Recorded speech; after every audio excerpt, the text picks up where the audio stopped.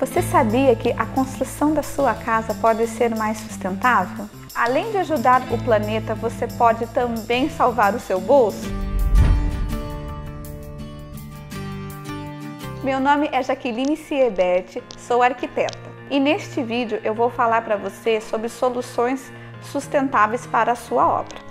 Quando você estiver fazendo o seu projeto com o seu profissional, lembre-se de inserir nele aspectos da arquitetura bioclimática. A arquitetura bioclimática leva em consideração no seu projeto as condições climáticas do local, sol, chuva, ventos, minimizando os impactos ambientais e reduzindo o consumo energético. Quando você constrói a sua casa posicionada corretamente em relação ao sol, ela não vai ficar nem muito quente e nem muito fria. Você vai economizar dinheiro com ar-condicionado e com o uso de lâmpadas durante o dia. Aberturas no tamanho certo e no local correto contribuem para o conforto térmico e o bem-estar dentro da sua casa. Outra ideia muito legal é utilizar a radiação solar para gerar energia elétrica e aquecer a água do seu banho.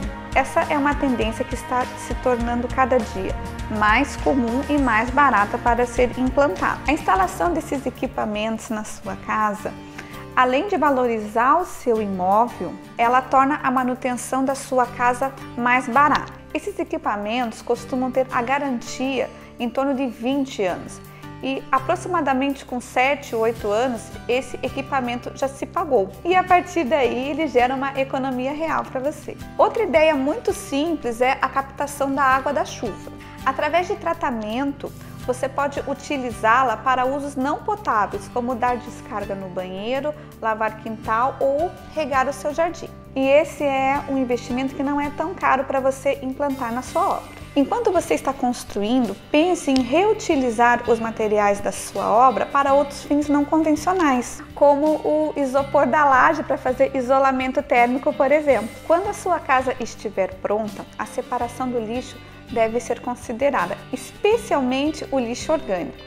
Ele pode virar adubo para a sua horta, o seu telhado verde ou o seu jardim. Falando em telhado verde, horta, jardim, também temos que pensar em um paisagismo produtivo.